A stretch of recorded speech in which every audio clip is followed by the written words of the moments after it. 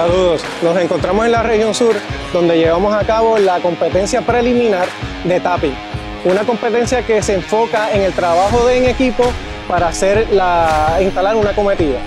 Actualmente tenemos las cuatro áreas de la región sur, Yauco, Coamo, Ponce y Guayama participando.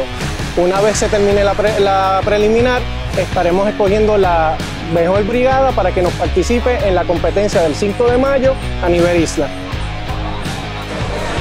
Queremos agradecer a las cuatro áreas operacionales de la región sur, Coamo, Guayama, Ponce y Yauco, por su participación en la mañana de hoy en las competencias de tapping aquí en nuestro centro regional del Tuque. Eh, fueron varias semanas de preparación entre, varios, entre todos los equipos para poder este, participar en el día de hoy.